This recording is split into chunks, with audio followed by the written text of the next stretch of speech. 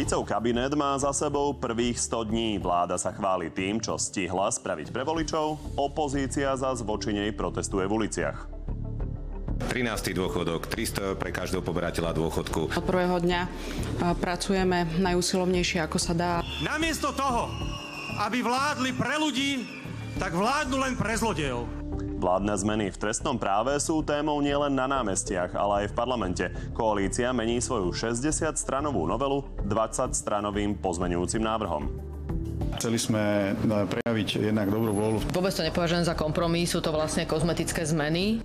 Prezidentské voľby majú definitívny zoznam kandidátov. Dvaja koaliční, šéfovia Hlasu a SNS si aj tento týždeň vymieniali odkazy. Má pocit, že nejako prepláva do prezidentského úradu a ja mám strach, že nás opäť zradí. Ak niekto vidí svoj politický cieľ v sporoch a hádkach, má na to plné právo. A okrem toho máme pre vás dnes aj čerstvý prieskum preferencií strán, ktorý ukáže, ako sa turbulentné dianie z posledných týždňov prejavilo na náladách voličov.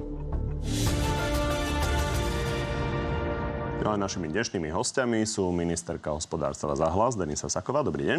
Príjemný dobrý deň prajem. A predseda Progresívneho Slovenska Michal Šimečka. Takisto dobrý deň. Peknú nedelu a ďakujem za pozvanie. Poďme na zmeny v trestnom zákone. Tie zmeny totiž e, ešte nie sú ani schválené a vlastne už ste ich museli meniť ako koalícia. 20 stranový pozmenujúci návrh predložil Tibor Gašpar a opozícia e, kritizuje, že tie zmeny sú nielen kozmetické, ale že v niektorých veciach dokonca aj k horšiemu. Poďme sa na to pozrieť, čo hovorí Richard Sulík. Ak prejde pozmeňovací návrh pána poslanca Gašpara, klesne spodná sadzba za spredneveru štvrť milióna eur z dnešných 10 rokov na nula. Pokojne sa vyjadrite, pani ministerka, aj k tomu konkrétnemu paragrafu. A potom sa chcem opýtať, či stojíte za tým pozmeňujúcim návrhom Tibora Gašpara, lebo hlas hovoril, že chcel nejaké zmeny, napokon to predkladal Tibor Gašpar. Pán redaktor, my sme ešte pred voľbami hovorili, že je na Slovensku potrebná zmena právneho systému a strana, ktorá je s nami v koalícii, to dokonca mala priamo aj a dala to do programového vyhlásenia vlády, že vlastne bude meniť trestné kódexy. Dnes to máme na stole, pretože posledná taká veľká rekodifikácia trestného zákona a trestného poriadku nastala k 1.1.2006, kedy sa tu na Slovensku aplikovali drakonické tresty pod rúškom toho, že sa zníži kriminalita. Máme 17 rokov, väznice sú plné, kriminalita, nápad trestnej činnosti sa nám neznižuje a jednoducho treba sa prispôsobiť a treba s tým niečo robiť, aby sme sa prispôsobili štandardom Európskej únie, aby sme sa prispôsobili trestnými sadzbami štandardom, ktoré sú v Rakúsku, v Nemecku, v Českej republike. Jednoducho, väzenstvo nás stojí ročne okolo 260 miliónov eur a každý jeden väzeň nás ročne stojí minimálne 21 tisíc eur ročne drakonické tresty nevyriešili to, že by sme väznice mali prázdnejšie. Naopak stále sú plné a trestná činnosť sa pácha. Preto Dobre, teraz ste nový, zhrnuli v podstate do veľkej miery argumentáciu za posledné celé týždne. Kódex. A ja som vás to nechal povedať a skúste mi povedať teraz odpoveď na tú otázku. No a teraz vám odpoviem na tú otázku. Bol pozmenujúci návrh, ktorý bol vypracovaný, ktorý bol predložený e, na ústavnoprávnom výbore ten bude predložený, ale respektíve sa bude o ňom hlasovať v súvislosti, keď sa bude hlasovať aj o zákone ako celku. My vnímame, že tie zmeny, ktoré tam boli spravené, sú dostatočné k tomu, čo bol predložený trestný zákon. Ešte raz opakujem, v rámci trestného zákona súhlasíme absolútne s tým, že tresty za majetkovú a ekonomickú trestnú činnosť majú byť nižšie, ako sú tresty, keď ubližíte niekomu na zdraví alebo siahnete na život. U nás to bolo absolútne nepomer. Dobre, to je jedna vec. Druhá vec je potom, že aká je tá úroveň toho pomeru či nepomeru. Ale e, teda hlas unblock stojí za tým návrhom a nebude určite, problém áno. s tým, že by niektorý poslanec hlasu Nie, hlasoval proti. Problém. Pán Šimečka. Tak dovolte mi na úvod zopakovať, že ako hovoríme nielen my v opozícii, ale ako hovoria odborníci na trestné právo, ako hovoria európske inštitúcie, ako hovorí pani prezidentka a tisíce ľudí na námestiach, ten návrh je nebezpečný ten návrh, ak prejde, tak to ohrozí bezpečnosť a majetok občanov Slovenskej republiky. Vláda tým de facto rezignuje na jednu zo svojich základných funkcií a to je chrániť nás občanov.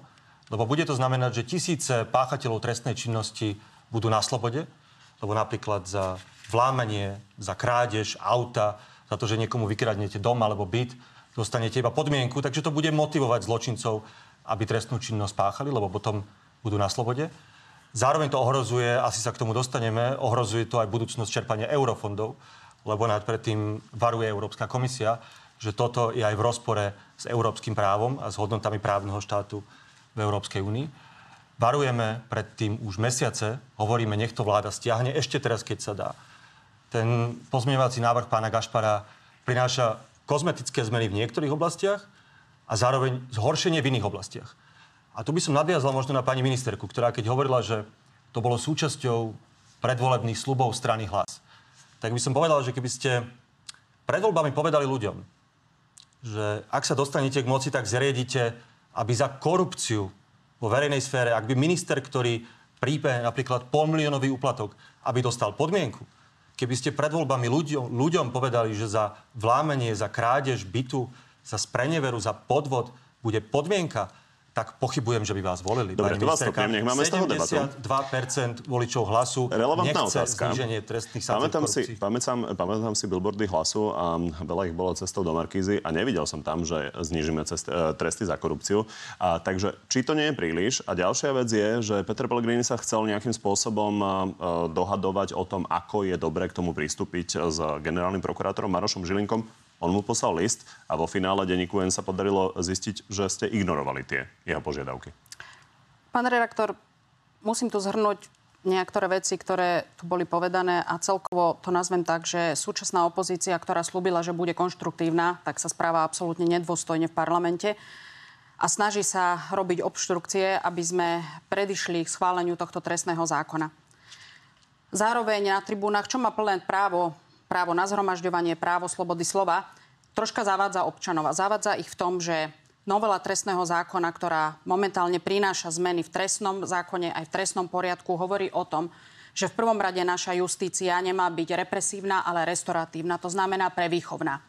A keď chceme prevýchovávať ľudí, ktorí páchajú trestnú činnosť, tak musíme na to nájsť aj podmienky. A podmienky k tomu sú Poprvé, znižujeme trestné sadzby nie kvôli tomu, že by sme chceli mať viacej trestnej činnosti, ale znižujeme trestné sadzby preto, že trestné sadzby za majetok, ako som povedala, korupciu sú veľmi vysoké. A zároveň zabúda opozícia vysvetľovať ľuďom, a mali ste tu aj vy krajského sudcu prednedávnom vo v štúdiu, ktorý hovorí jednu dôležitú vec, že jednoducho v prvom rade pre občanov, ktorí sú poškodení, je náhrada škody. To znamená, ak vám niekto sa vláme do domu a ukradne ste silku. otvorili ale... ďalšie dve, tri témy. No, ale poďme k Marošovi nie, Žilinkovi. Ja, ja, nie, ja reagujem na to, Chytím čo sa povedal... toho, čo ste sami povedali. Nie. Teraz Hovoríte, ešte len že... dokončím vec. To znamená, ak vám niekto vykradne byt alebo vykradne auto, v prvom rade táto nová forma novely trestného zákona hovorí o tom, že má byť náhrada škody poškodenému. To nám ide v prvom rade o to. A v druhom rade nám ide o to, aby sme tých páchateľov, alebo respektíve súdcovia, ak súdia páchateľov, ktorí prvýkrát páchajú trestnú činnosť, nedali hneď do väzby, ale jednoducho im dali miernejší trest. Do väzenia, aby, myslíte? áno, do väzenia, aby jednoducho nepáchali, nepáchali opakovanie svoje trestné činy.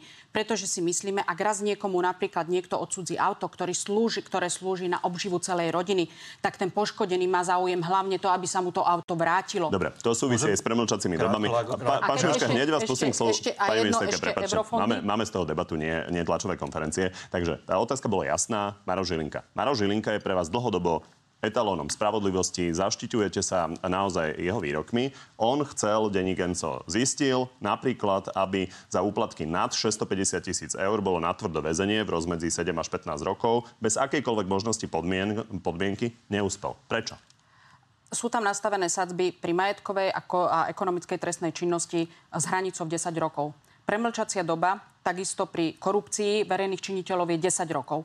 My sme sa snažili, alebo respektíve minister spravodlivosti sa snažil do trestného zákona dať hranicu 10 rokov, pretože napríklad pri vražde máte 15 až 20 a viete dojednať 10 rokov. To znamená, majetkovú a ekonomickú trestnú činnosť sme dali hornú hranicu 10 rokov. Je to tak všade v okolitých krajinách, ako je v Rakúsku a ako je v Nemecku. Pani ministerka, prečo toto nevie Maro Žilinka?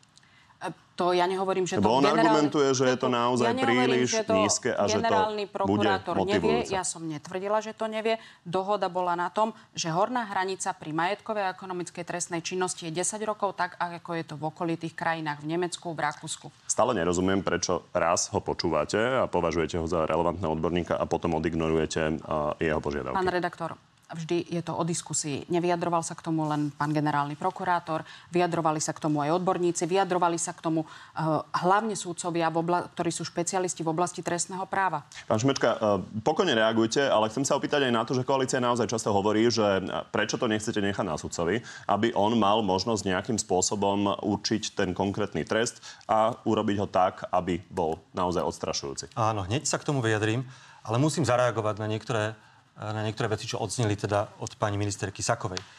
Tak za prvé, ak chcete zmeniť justíciu tak, aby v prvom rade prišlo k nahradeniu škody, tak to sa nevylučuje s tým, že ten človek môže dostať aj trest. Veď keď vám ukradli auto za 30 tisíc, veď štát, to bolo vaše heslo, silný štát, má predsa aj sa postarať o to, aby ten človek dostal náhradu škody, aby mu to auto bolo vrátené, ale to neznamená, že ten páchateľ potom môže ísť na slobodu, že má dostať podmienku. A to je to, čo v tom trestnom zákone novom, vašej novele je. To ste neslubovali voličom.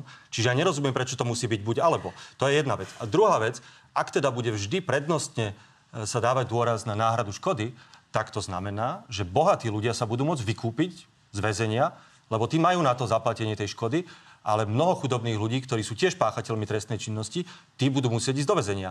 Tiež neviem, ako to ako to úplne eh, ide v súlade s vašou sociálno-demokratickou líniou, lebo tu v podstate hovoríte, že keď ste bohatí, môžete sa vykúpiť. Keď ste chudobní, musíte byť v base. To je jeden argument, čo sa týka náhrady škody. Druhý argument, veľmi dôležitý, eh, viete, s tou korupciou neustále opakujete, že chcete harmonizovať sadzby s okolitými štátmi. Nemeckom, s Rakúskom, s Českom. A dajme tomu, že to je teraz, áno, je to podobné, len s veľmi dôležitým rozdielom že ani v Nemecku, ani v Čechách, ani v Rakúsku nemôžete dostať podmienku za korupciu a za iné závažné majetkové trestné činy.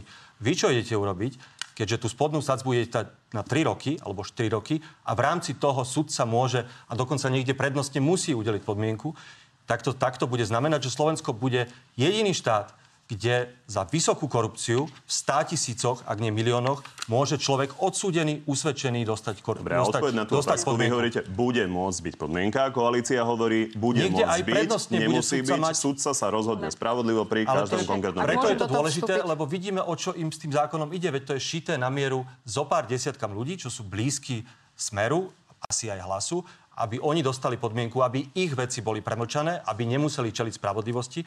A kvôli tomu je tá vláda ochotná obetovať celý trestný systém. Pani ministerka, nechám vás na všetko zareagovať, ale poďme to posunúť, lebo premlčacia... lebo to tiež zaznelo, tiež by som ale naozaj nebudú z toho dve tlačové konferencie. Ide o to, aby ste debatovali o konkrétnych veciach a musíme ísť po, per partes proste po konkrétnych témach. Dobre, ja Premlčacie doby, prepačte, len vás Chvíľočku. trošku preruším. Takže Peter Pellegrini tu bol a k tým premlčacím dobám v útorok v Natelo Plus argumentoval takto.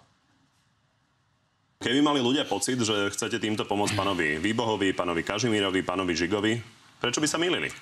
To ja odmietam, že by to bolo robené kvôli tomuto. Necítite tam konflikt záujmov? Kvôli napríklad pánovi Žigovi? Ja nie, určite nie. Pani ministerka, vy ho necítite? A ešte raz jednu vetičku k tomu, Pýtam čo sa ste... naozaj na Chvíľku, ja doby, to je veľká téma. To tu Necítite napísané. konflikt záujmov vzhľadom na to, že sú to Nie, vôbec ľudia z vášho okolia? konflikt záujmov. Ešte budem reagovať na pána Šimečku. Viete, pán podpredseda parlamentu, základná vec je, že vláda ani parlament ľudí súdiť nebude. To budú robiť sudcovia. Trestný zákon je len nástroj, podľa ktorého alebo v ktorých hraniciach sa budú sudcovia pohybovať. Máte sudcov, ktorí sú niekoľko rokov zdatní vo svojom práve, vo svojej oblasti. Tak ako máte sudcov trestného práva, preobchodné právo, správne právo. A jednoducho ten sudca na základe individuálneho posúdenia každého prípadu sa rozhodne, či danému páchateľovi trestnej činnosti dá trest odnatia slobody, alebo mu dá podmienku. A vždy on zvažuje všetci, všetky priťažujúce a všetky polahčujúce okolnosti. To vám povie každý jeden sudca. Takže vy neklamte ľudí, že teraz my ideme niečo dávať len na podmienky, čo v ostatných štátoch podmienka nie. Je to vždy na rozhodnutí sudcu, pretože máte x prípadov vtedy, kedy sudca musel dať trest napríklad pani, ktorá pomáhala so žiadosťou na Upsvare a dostala za sáčok zeleniny a šunky 5 rokov. Colník, ktorý zobral 3 flaše z colného skladu piva, tak dostal 5 rokov na tvrdo. A možno tí sudcovia sa nechcú pozerať na takéto zničené životy. A ešte raz, to nebude vláda, súdiť, to nebude parlament súdiť, to budú súdiť sudcovia. A neznevažujme sudcov, pretože na Slovensku máme vyše 4700 sudcov a vyšších súdnych úradníkov, ktorí sa vo svojej problematike vyznajú. My sme absolútne rešpektovali to, aká je best practice v okolitých krajinách. Keď si zoberieme Slovensko, máme približne 195 väzňov na 100 tisíc obyvateľov. Fínsko malo taký istý problém ako my. Zmenili svoje trestné kódexy. Dnes má približne okolo 50 väzňov na 100 tisíc obyvateľov. A nemôžeme vôbec hovoriť o tom, že by tam narastlo počet trestnej činnosti tak, ako vy na tých námestiach strašíte ľudí. to je to to absolútne, ale pán Čmečka, je to absolútne nedôstojné, čo vy robíte na tých demonstráciách. To, že máte sa právo zhromažďovať, je jedna vec. Že máte slobodu slova, je druhá vec.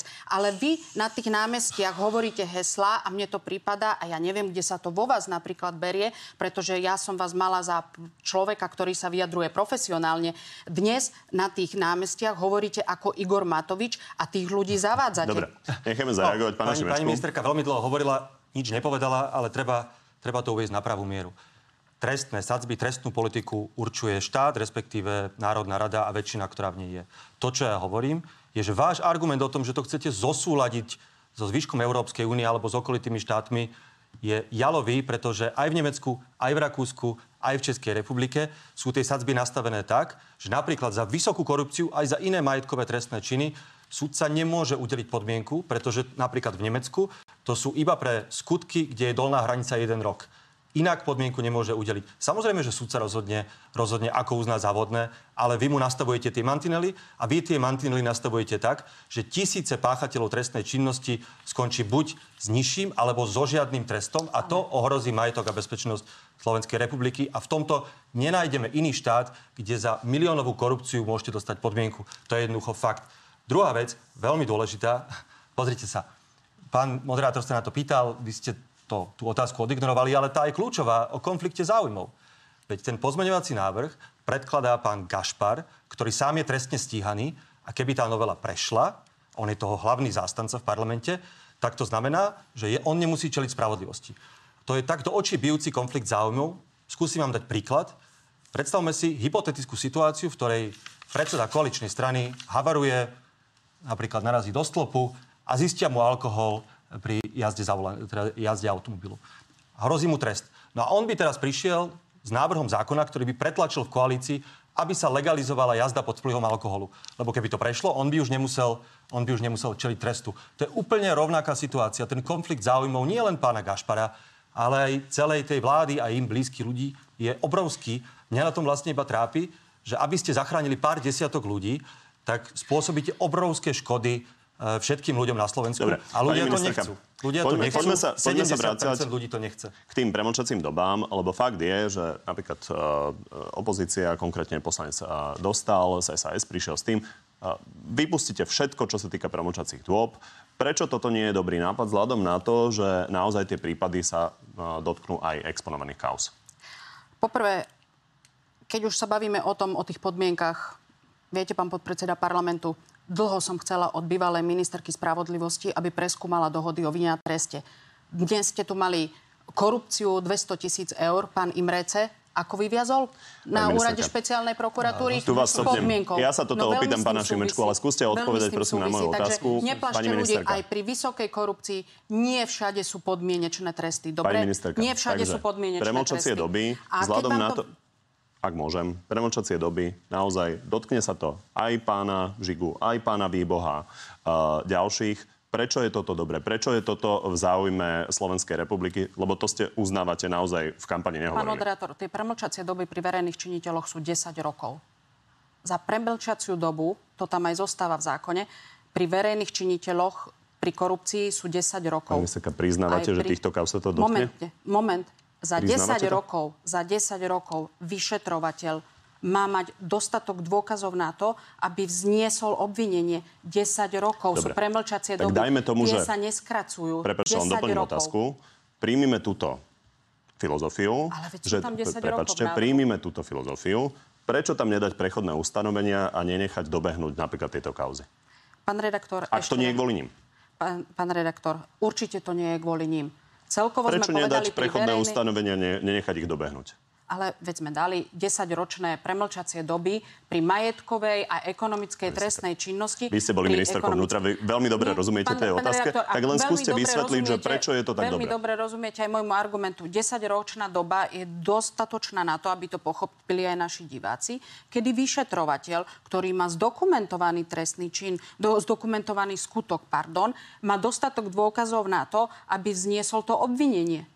Je to absolútne postačujúce. A keď chceme, Dobre. tak potom úplne zružme premlčacie doby. Nie, ale to vôbec premlčacie... netvrdím. To Počkajte, vôbec netvrdím. Ale veď premlčacie doby jednoducho sú tu na to aj pri nízkych, aj pri iných trestných činoch, aby jednoducho bol systém prevýchovy. Teraz myslím premlčacia doba napríklad pri krádeži auta. Hej? A to sú veci, kedy páchateľ Čiže pán Žiga už bol nie, prostredníctvom čakania na to trestné nie, nie, stíhanie. Nie, Dobre, počkajte, počkajte. Poďme, pán Šimečka, dobre, na... keď ideme, Lebo- dobre, lebo už poslednú, treba- poslednú vec. Keď už sa bavíme o tom Pani a budem... ale Chvíľka. Pán moderátor mi udelil slovo, tak Áno, nemôžete len tak chvíľočku, ja, pardon, ja len akože-. Viete, pán moderátor, keď stále náražate na to, a ako moji kolegovia boli obvinení. Boli obvinení na základe obvinenia, ktoré vzniesol prokurátor USP. Každý jeden meno, ktoré ste spomínali tu, skoro každý jeden bol obvinený na základe výpovede kajúcnika. Na základe výpovede kajúcnika, ktorý páchal trestnú činnosť a za ktorú mu hrozilo doživotie alebo 25 rokov odňatia slobody. Hej? A ten kajúcnik spísal dohodu o vine a treste. Jeho trestný čin bol preklasifikovaný na korupciu, kde mu dali tú vašu spomínanú podmienku. A na základe výpovede jedného kajúcnika boli vznesené obvinenia. Európsky súdny dvor pre ľudské práva nám jasne napísal nález, že nie je možné, aby sme vzniesli obvinenie a odsúdili človeka na základe výpovede jedného Dobre, kajúcnika. takže dobre tomu bola, rozumiem. Toto tu bola právna prax, ktorá sa tu diala od roku 2020 do 2023. Mali sme to niekoľko kajúcnikov, ktorí na základe Dobre. inštrukcií vypovedali presne na tie Áno, osoby, ktoré bolo treba. dobre tomu rozumiem, že vy hovoríte, že toto sa dialo vašim kolegom a teraz to idete vyriešiť zmenou zákona. Nie, my to nejdeme vyriešiť zmenou zákona. Vy ste sa ma pýtali na to, prečo môj, že my ideme riešiť, vy ma do toho navádzate, že my vraj niečo riešime kvôli našim kolegom. To nie je pravda, že niečo riešime kvôli našim kolegom. My jednoducho štandardizujeme trestné kódexy a po, dávame sadzby na úroveň Rakúska, Nemecka, Čiech. A nič Šimečka, vy ste nenavádzam, ja sa len pýtam. Pán Šimečka, poďte odpovedať na otázku pani. Sakovej. Pardon, pani ministerka tu teraz Prepačte, dostala len, len doplním, doplním otázku. agitku. tak- Doplním otázku. Takže pani ministerka sa vás pýtala na Františka Imreceho. Naozaj ľudia poznajú tie kauzy, poznajú to, že sa priznával k veľkým korupčným činom a vlastne zatiaľ vyviezol s podmienkou. No, rozhodol o tom nezávislý súd. Ako ste vypovedali, veď sudcovia majú svoju vlastnú hlavu. Snáď teda veríme, že sudcovia sú nezávislí. Preto to zdôrazňujem, že ak máme stále dôveru v právny štát, minimálne v oblasti súdnictva, tak mi tu prosím vás nerozprávajte to, čo je napísané v tej vládnej brožúrke, o tom, že tu bol nejaký únos spravodlivosti. To je čistá agitka, to sú prepísané tlačovky Smeru za posledné tri roky. Keby tu bol únos spravodlivosti, tak by to snáď nejaký sudca slovenský, európsky alebo Európska komisia niekedy povedali. 20 ľudí právoplatne odsúdených z prostredia Smeru a z bývalých vlád, 40 aj spolu z neprávoplatne, ďalší ľudia trestne stíhaní a obvinení. Všetky rozhodnutia súdu boli o tom, že keď to, pri, keď to prinieslo USP, tak padlo rozhodnutie o vine. Tak buď teda sa dohodneme, že rešpektujeme rozhodnutia súdov a keď ich rešpektujeme, tak tu nehovorte o, nejakej, o nejakom únose spravodlivosti, lebo to nikto nepotvrdil. To hovorí tá vládna brožúrka, ktorú, na ktorú sa museli zložiť všetci občania, lebo ich písalo, lebo to písa úrad, teda úrad vlády a ministerstvo spravodlivosti. Že toto je čistá fikcia. Prosím, veľmi dôležitá vec, lebo Jednak, ak teda by vám naozaj išlo o zosúladenie s európskou legislatívou, ako stále tvrdíte, ukázali sme si, že v Rakúsku, v Čechách a inde naozaj, naozaj to takto nie je. Ale hlavne Európska prokuratúra, Európska komisia vám hovorí, že nerobte to, lebo je to nebezpečné, lebo to zväčšuje priestor na korupciu a podvodoch pri eurofondoch. Čiže to vám hovorí európske inštitúcie, všetky vám to hovoria. Poslednú vec, veľmi, veľmi dôležitá. Do nekonečna sa tu bavíme o nejakej humanizácii trestnej politiky. Že nechcete mať toľko ľudí vo väzeniach, chcete, aby štát bol milší k páchateľom trestnej činnosti, lebo si to nemôžeme dovoliť, lebo treba teda sa zamerať na to, aby sa, aby sa prevychovali. Tak v, tej, v tom pozmeňovacom návrhu pána Gašpara sú sprísnenie tresty za pestovanie marihuany. A to je veľmi dôležitý príklad. Ja toho pána poznám, týka sa to napríklad pána Šipoša, aj vo vašich reláciách ste to rozoberali. To je pán, ktorý pestoval konope, dostal 15 rokov basy. Mysleli sme si, že teda keď sa prichádza s humanizáciou trestného práva, tak tým, jak sa znižujú tresty za korupciu, za krádeže, za spreneveru, za podvody, že aj týmto ľuďom sa možno, možno znížia tie tresty. A naopak, Gašparov pozmeňovák to zvyšuje, že tento človek bude musieť byť dlhšie v base, možno 20, možno 25 rokov, ak prejde ten pozmeňovák. To je človek, ktorý nikomu nič neukradol, Dobre, nikoho, sa toho niko, nikomu neublížil. Poďte, tak poďte ešte akej, tak, ako sa pýtam pani eh, Sakovej trestného na to, aby hovoríte? chápali teda jej voliči, ako to vníma hlas eh, pri tom, eh, čo sluboval. A, takže, pán Imrece, a, vy hovoríte, rozhodol o tom nezávislý súd. Či vám príde spravodlivé, len či vám to príde spravodlivé, že pán Imrece má podmienku? tak on spolupracoval, spolupracoval na vyšetrovaní ďalších trestných činov. To je súčasťou nášho právneho poriadku. To, čo mne sa zdá šialené, je to, čo vláda chce, vládna koalícia chce urobiť, že chceme dať možnosť ministrovi spravodlivosti, eh, aby retroaktívne, spätne napadol tie dohody a vinia treste, ktoré porušujú základný princíp právneho štátu, teda nejakú právnu istotu. Tieto trestné kodexy platili 20 rokov. Vrátanie toho inštitútu spolupracujúceho obvineného ani Smeru, ani Hlasu, ani vám, ani Petrovi Pelegrini mu to nikdy predtým nevadilo, až do momentu, keď začal úrad špeciálnej prokuratúry robiť to, čo má robiť a rozkrývať trestnú činnosť v tom aj politickom presahu. Preto vám to začalo vadiť. Dobre, Ako tie prípady USP. samozrejme nie sú na konci, ale teda tvrdíte, že podľa vás je to spravodlivé. Dobre, uh, pani Saková, uh, chcem sa opýtať ešte, a poďme to už uzavrieť. Keď sa pozrieme na tú novelu uh, pána Gašpara, tak uh, bod 1. Ide o spresnenie ustanovenia, aby sa predišlo neželeným uh, interpretáciám. Bod 6. Ide o štilistickú úpravu, ktorá vho- e, používa vhodnejšiu terminológiu. Bod 11. Ide o štilistickú úpravu zjavnej písarskej nesprávnosti. Bod 13. Štilistická úprava zjavnej písarskej nesprávnosti. Máte to už dobre napísané? Je toto posledný pozmeňujúci návrh a je toto finálny stav, alebo ešte príde niečo ďalšie v parlamente? To nikdy neviete, kedy príde ešte niečo v parlamente, nejaký pozmeňovací návrh. Nie, ne, nemyslím opozície. hoci kto, že niekto niečo hoci čo prinesie, len či nejaká koncepčnejšia úprava ešte príde z koalície. Nemyslím si, že ešte nejaká koncepčnejšia úprava ešte príde z koalície, ale dovolte mi zareagovať na tie veci, čo povedal pán Šimečka. Pán Šimečka, únos spravodlivosti, 42 odsúdených, z toho 55% kajúcnici. 55% kajúcnici, dohoda o vine a treste kde kajúcnici, ešte raz to zopakujem, páchali takú trestnú činnosť, že by mali dostať do živote.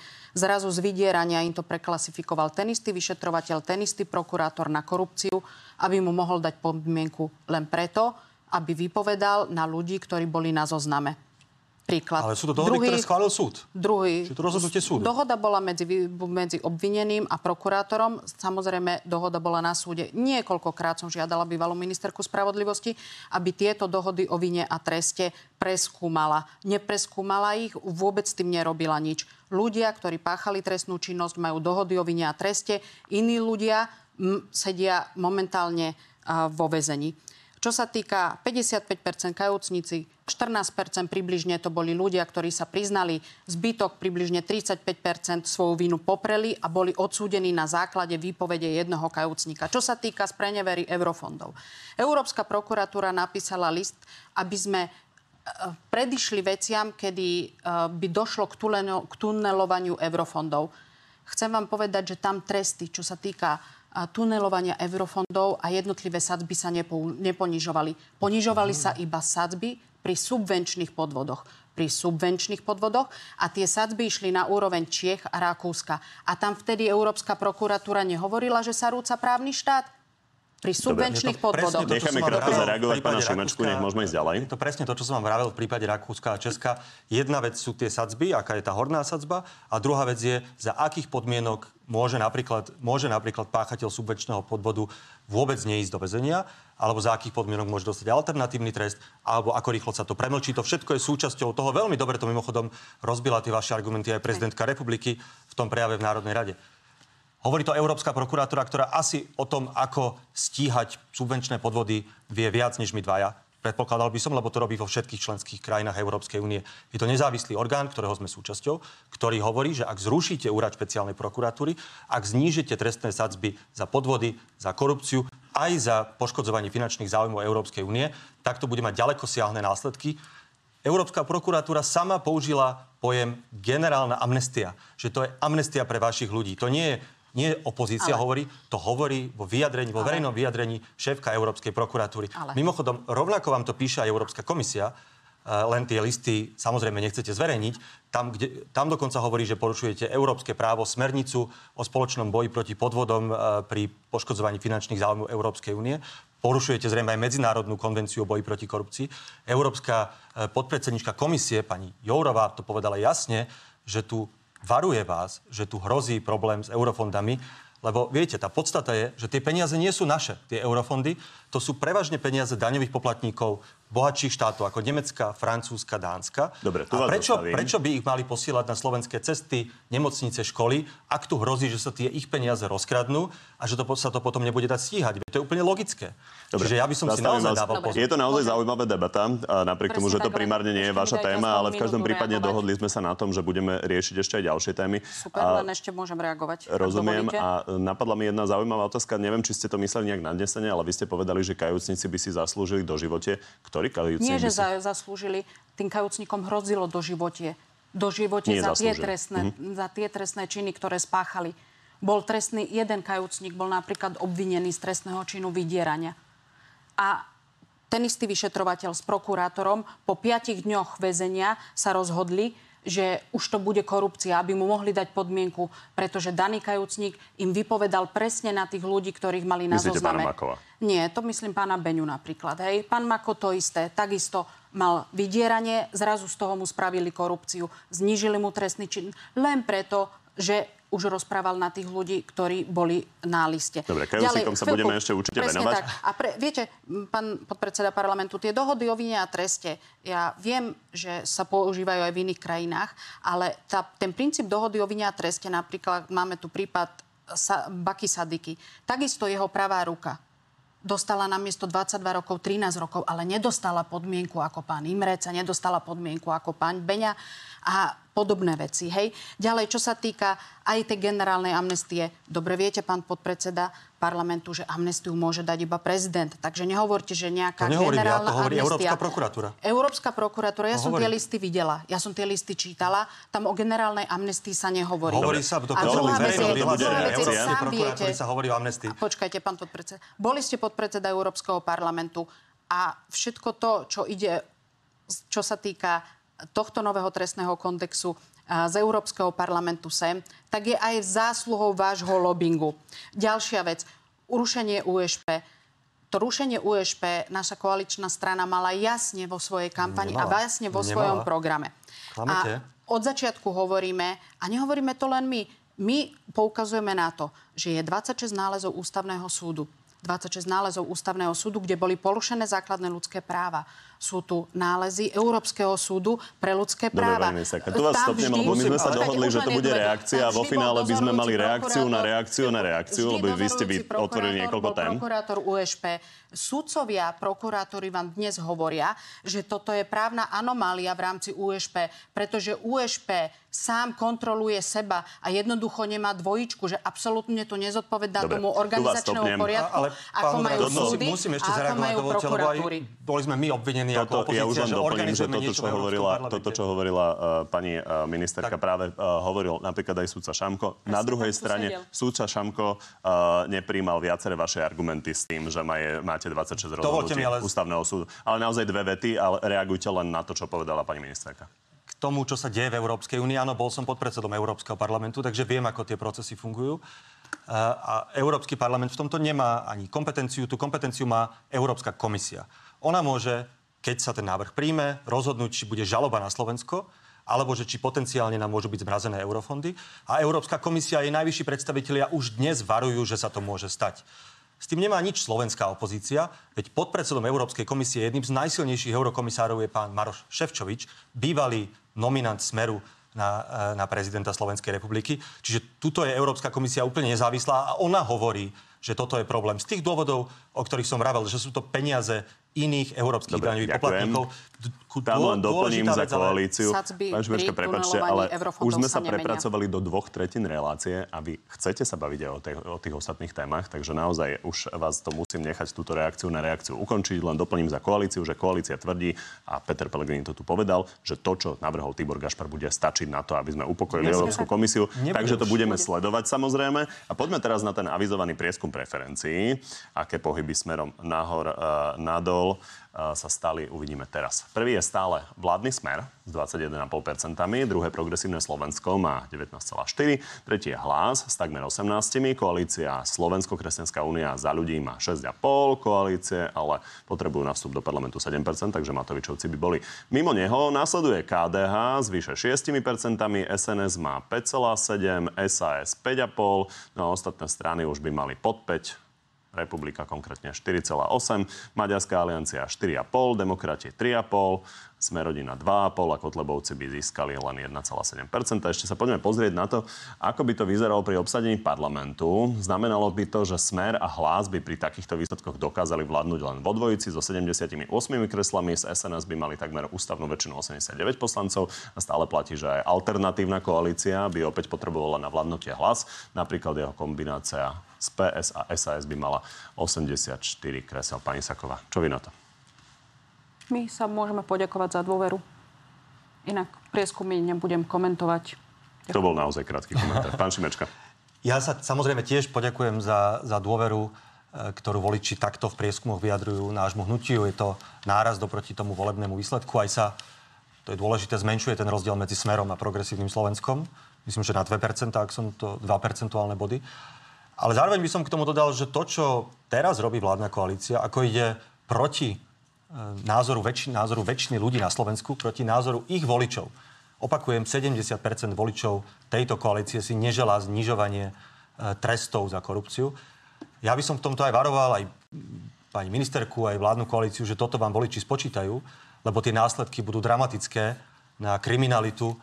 Príde na Slovensko, vzhľadom na to, že motivujete zločincov prísť na Slovensko, tak budeme vidieť vlnu kriminality a voliči vám to spočítajú, či už v prezidentských voľbách, v európskych voľbách, e, alebo potom v akýchkoľvek ďalších voľbách, ktoré budú. To by veľmi dával by som si na to pozor. Na to, aby sme sa pozreli, ako sa vyvíjajú tie preferencie. Lebo keď sa na to pozrieme, ako sa vyvíjajú v čase medzi tými troma najsilnejšími stranami, tu vidíme, že Vašim dvom stranám sa darí. Progresívne Slovensko od predchádzajúceho novembrového prieskumu narastlo 1,5% a hlas dokonca o vyše 3 naopak smer o dve klesol. Takže zdá sa, že za, zatiaľ voliči nič nespočítavajú. A keď sa ešte pod, pod, pozrieme podrobnejšie, tak napríklad KDH kleslo o 1,3% a SAS takmer o percento.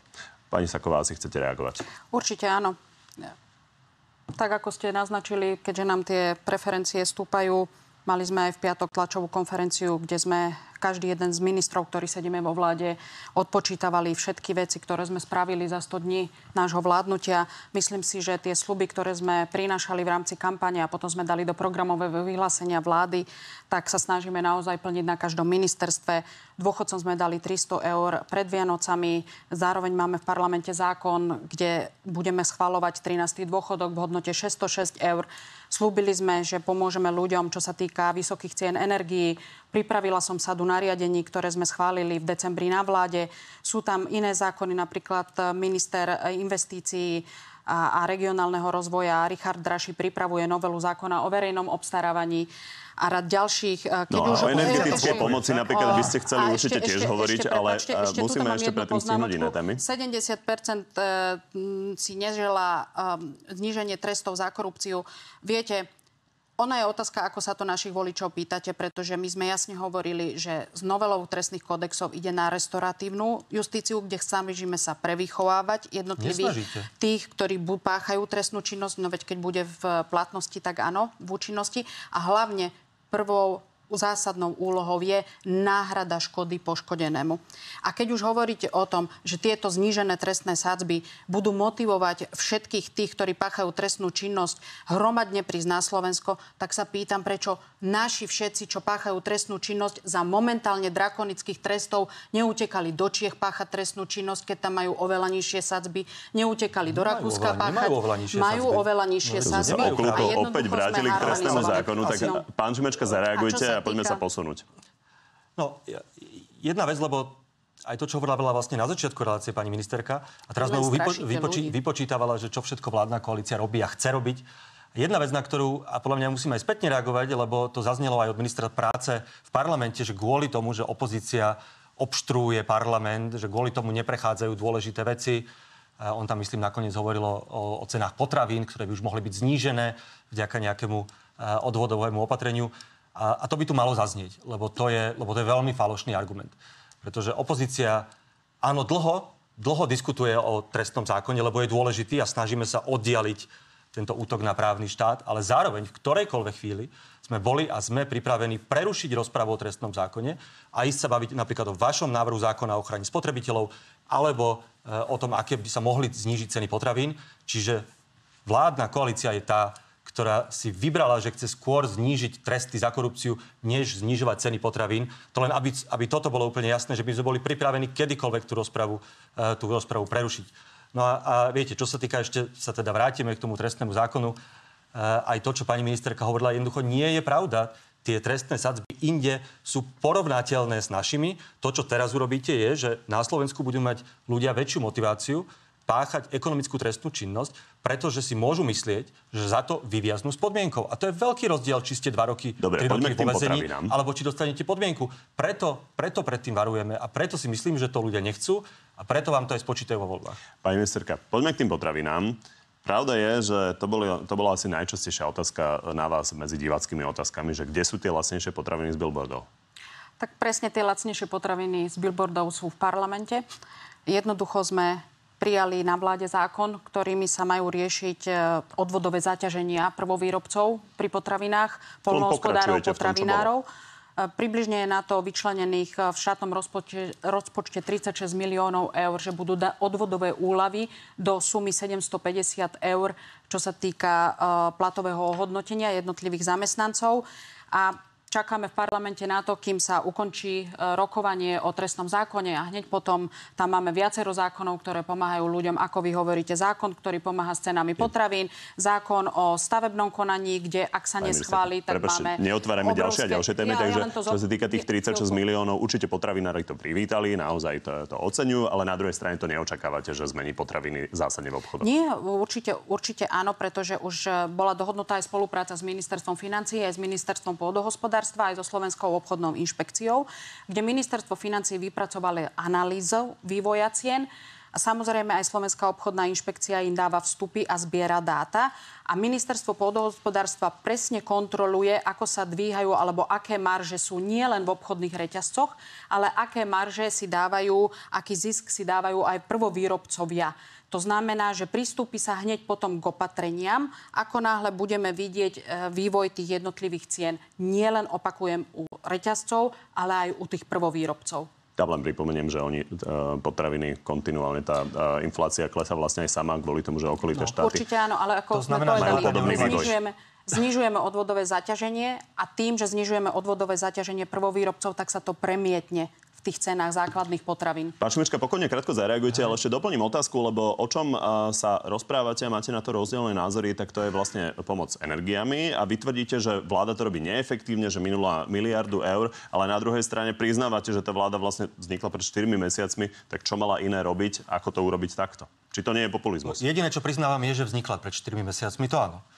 E, dostanem sa aj k energiám, ale k tým potravinám. Veď to bola veľká kampaň hlasu pred voľbami, že budú lacnejšie potraviny. No nič neurobila vláda zatiaľ. Reálne, hmatateľné neurobila nič. Okrem toho, že Robert Fico si natočil video. A vy budete tvrdiť, že to je preto, lebo v parlamente rokujeme dlho o trestnom zákone a teda sa nedostal na program e, napríklad návrh na predlženie toho odvodového zvýhodnenia pre potravinárov. Už som to vravel, to je tak falošný argument, že to je ako, opäť použijem príklad e, stĺpu a automobilu, ako keby ste narazili do stĺpu a potom sa začali stiažovať, že tam ten stĺp stále, že vám zdemoloval auto.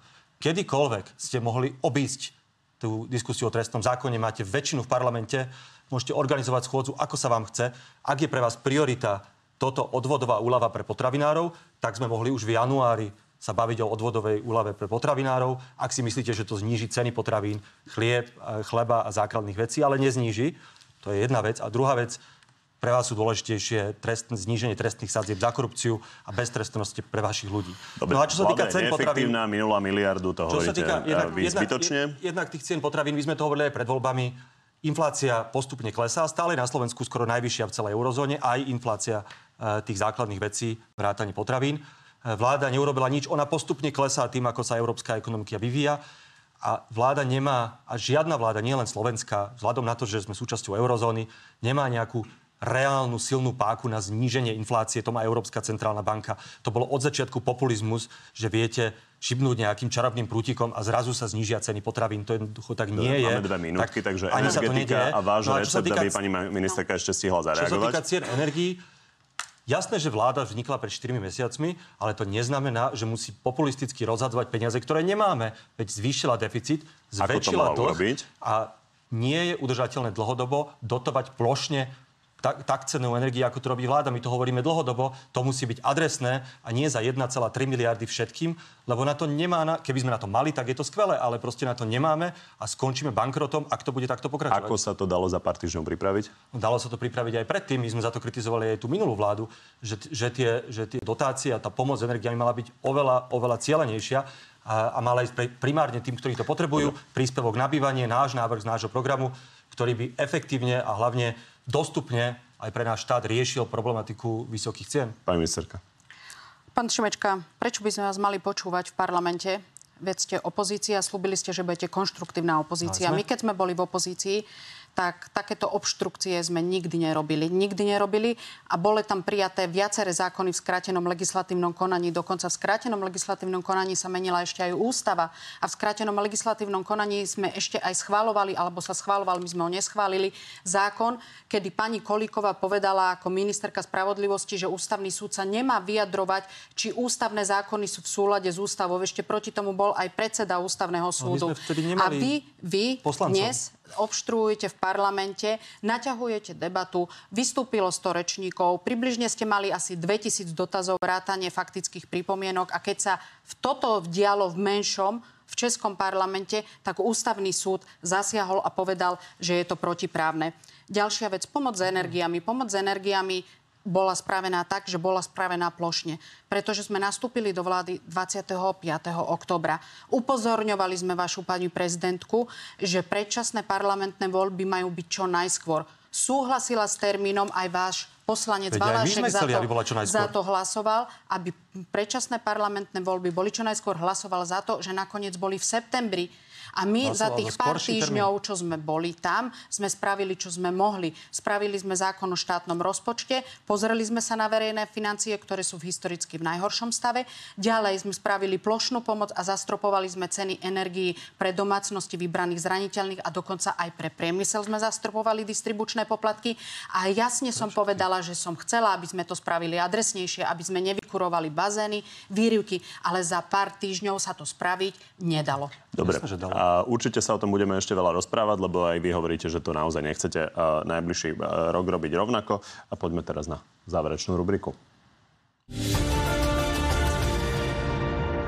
Takže poďme na áno, nie. Myslíte si, že kandidatúra Igora Matoviča na prezidenta môže tak, ako to on tvrdí vo finále, pomôcť k prehre Petra Pellegriniho? Neviem. Či môže pomôcť k prehre Petra Pellegriniho? Skôr si myslím, že nie. Peter Pellegrini hovorí, že po jeho odchode môže byť niekto iný z hlasu šéfom parlamentu a niekto iný šéfom strany. Súhlasíte s ním, že takto by to mohlo fungovať? Určite áno. Napriek tomu, že o Odorovej vláde sa hovorilo ako o nepolitickej, úradníckej, tak jej premiér skončil na vašej eurokandidátke. Je možné, že z PS bude v najbližšom roku spolupracovať aj niekto ďalší z jej ministrov? S nikým z ďalších ministrov sa o tom nerozprávam. Bol za korupciu odsudený Dušan Kováčik lepším špeciálnym prokurátorom ako Daniel Lipšic? Ale veď to súdil sudca, nie prokurátor. Či bol Dušan Kováčik lepším špeciálnym Ja, pardon, prokurátorom aha, ako tak Daniel ako... Lipšic? Ja sa k týmto politickým veciam nevyjadrujem. Pardon, nie k politickým, ale týmto porovnávacím veciam. A pán Lipšic sa To je nikdy nemal... pomerne jednoduchá otázka. Vy ste boli ministerkou vnútra. Nikdy som sa nad tým nezamýšľala, ale hlavne Daniel Lipšic vôbec nemal čo robiť na úrade špeciálnej prokuratúry. To To som myslel, že toto bude ľahké pre vás. Dobre, tak poďme na záver na jednu pre oboch. V súvislosti s tým, že 4 mesiace dozadu ste ešte uvažovali nad tým, že by teoreticky mohla vzniknúť nejaká spoločná koalícia, tak ma zaujíma, ako to vidíte dnes. Vedeli by ste dnes spolu sedieť v jednej vláde? To sú úplne hypotetické otázky. Myslím si, že máme iné hodnotové nasadenie. Či by ste vedeli? Takto. Ja, ja by som povedal už iba to, že pani ministerka nedokáže povedať, že kto je lepší špeciálny prokurátor, či ten, ktorý je odsúdený a sedí v base, alebo ten, Nie, ktorý, ktorý sa ničoho nedopustil. Keď medzi nimi nevie rozsúdiť, tak zjavne tie, tie hodnotové rozdiely sú výrazné. Vtedy po voľbách som bol presvedčený, že najlepšie pre Slovensko je, aby nevznikla vláda Roberta Toto je Fica. áno, nie. Konal by som takisto. Aj toto je áno, nie? Toto je áno, nie. No. To je Aha, čiže- posledná otázka, Ja, rovnaká jasné. pre oboch. Tak som ja povedala, vedeli to- by ste Ne- spolu sedieť v jednej vláde? E, Tak v tejto chvíli je tá odpoveď nie. No. Tak ako som ja povedala, Tak kto ďakujem. bude Ja lepší myslel, prokurátor, lebo jeden by, sa ani, rubriky. Jeden by sa ani prokurátorom nemal vôbec Plynule- stať, takže som to ani neporovnávala. Plynule budeme prechádzať do toho, že asi ešte o energetike a plyne a jadrovom palive sa ešte pobavíme na Facebooku, lebo to sme nestihli, ale tak rozobrali sme aspoň a, lepšie trestnú legislatívu. Ďakujem pekne, že ste prišli z dnešného na telo. Je to všetko. Pri ďalšom sa vidíme opäť v nedeľu, no a v útorok popoludní máme pre vás v pravidelnom čase na TV novinách na telo plus, tentoraz ex-ministrom spravodlivosti Williamom Karasom. Príjemný zvyšok nedele.